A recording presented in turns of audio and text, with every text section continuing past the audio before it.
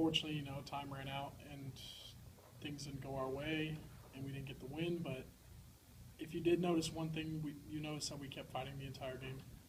Um, just, just an excellent, just an excellent effort by our special teams, offense, uh, defense. We need to, we need to go back and watch film, and we need to tighten up a little bit, which we will do.